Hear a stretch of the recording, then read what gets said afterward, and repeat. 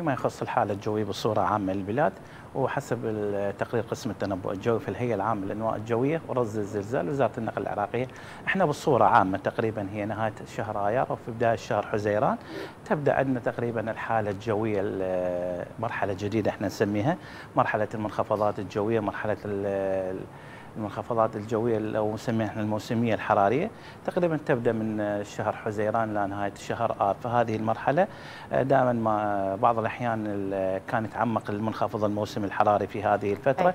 ويكون تأثيره واضح على العراق بس لكن لحد هاللحظة إحنا ما عندنا مؤشرات تشير بأن المنخفض الموسمي الحراري اللي يشكل على الأراضي الهندية بأنه تعمق أو ما شابه ذلك.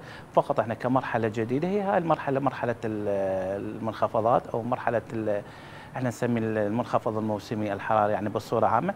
يعني آه، بعض الأحيان نسميها ظاهرة يعني آه، غير غريبة. البعض يسميها بين ظاهرة غريبة بين صار عندنا ارتفاع بدرجات الحرارة يعني في آه، شهر نهاية شهر آيار. إحنا حقيقة المفروض حتى هي مو ظاهرة غريبة لأنه أنت عندك إحصائيات عالمية نعم.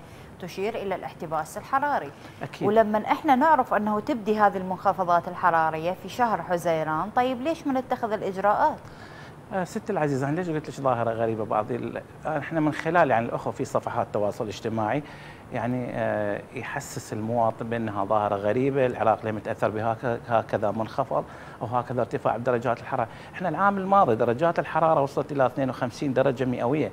يعني في بداية شهر تموز العام الماضي أعتقد أول أسبوع كانت يمكن آه، أحر درجات حرارة هي سجلها العراق بالعالم.